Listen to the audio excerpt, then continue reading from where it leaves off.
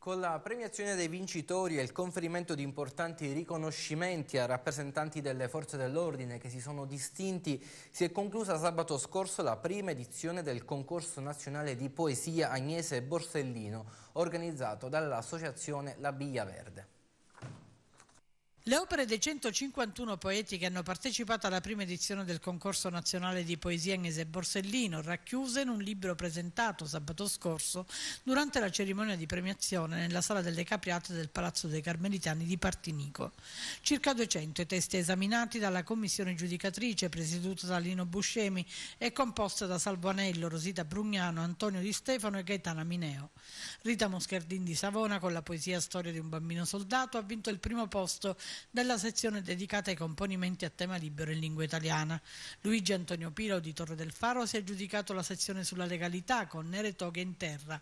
Giovanni Geni Livigni di Palermo con Tu chi dice ha vinto il primo posto della sezione in lingua dialettale. Infine Antonio Barracato di Cefalù ha primeggiato nella sezione dedicata alle poesie sulla legalità, sempre in lingua dialettale, con Basta Eroe.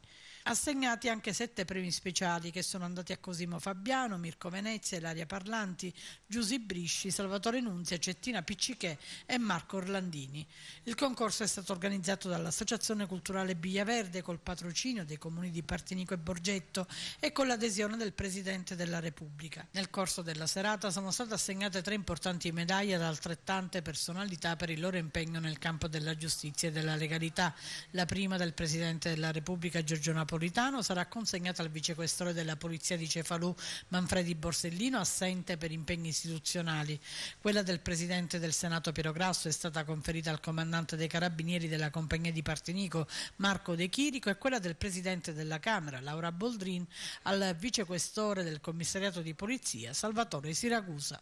Non è il premio del, del, capitano, ma è il premio che va a tutti i carabinieri della compagnia di Partinico che eh, quotidianamente e costantemente nel, nel, loro lavoro tengono a garantire in questo territorio così difficile l'ordine e la sicurezza pubblica. Quindi premia il sacrificio di quanti con, uh, nel silenzio, di quanti nel, giornalmente fanno il, il, proprio dovere. Questo è il, è il senso di questo premio. Sicuramente dall'autorità politica da cui proviene è eh, diciamo, la, la, spinta a poter continuare a fare, a poter operare sempre meglio a tutela della collettività a beneficio della cittadinanza di Partinico. È un onore grandissimo che ci riempie di, di orgoglio eh, e ci sprona ad andare, ad andare, avanti. Io lo ricevo personalmente ma è come se lo ricevesse l'intero commissario di polizia.